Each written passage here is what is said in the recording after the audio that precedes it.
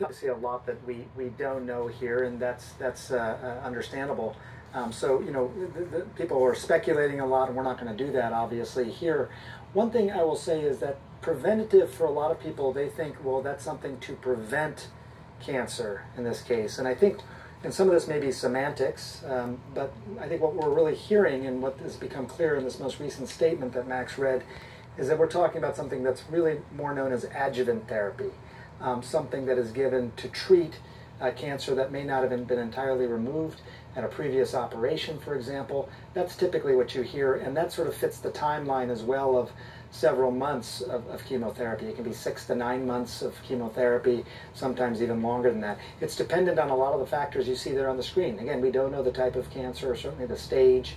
There's different medications depending on what the specific cancer is, and all of that affects um, not only the, the types of medications that she is getting, but also how she's likely to feel while she's getting those medications, the side effects, for example, those medications, and then, as I mentioned, the length.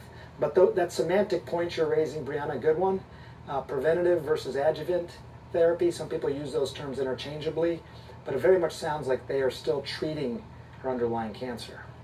Sanjay, she also says that she has good and bad days, and also says, "quote I am not out of the woods yet." Yeah. What's your reaction to that?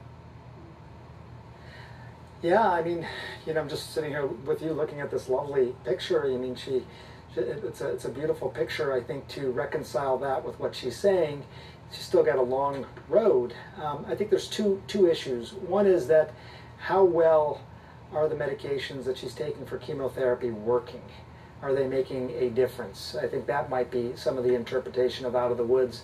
But also, you just, you know, how do you feel? Uh, good days, bad days. I hear that from a lot of my patients as well. Sometimes you feel actually pretty good. And then the next day, it can be very different. Uh, even the next hour, it can be very different. And on the screen there, you know, you see some of the things that people often talk about when they're undergoing chemotherapy. It's, it's exhausting you're basically uh, you know trying to target all these different cells in the body. That can be very exhausting.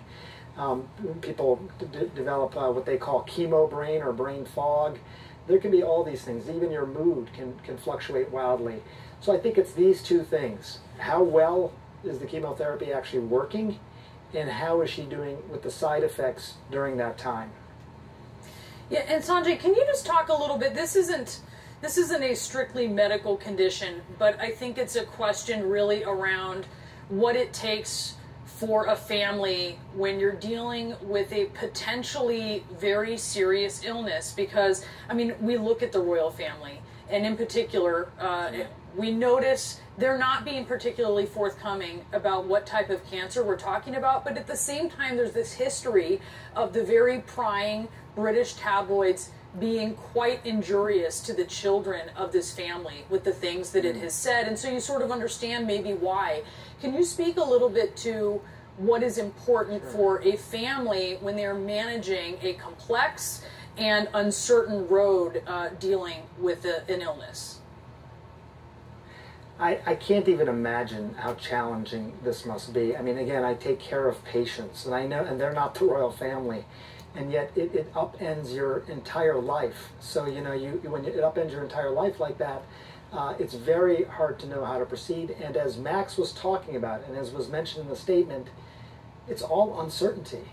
There's hardly anything you can hang your hat on, and so that becomes very challenging because people want answers.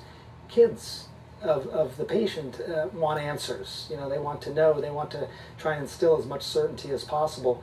And then you add to the fact that you're talking about this very famous family that everyone is curious about. So I, I, I see how challenging it is with my own patients who are not in this position.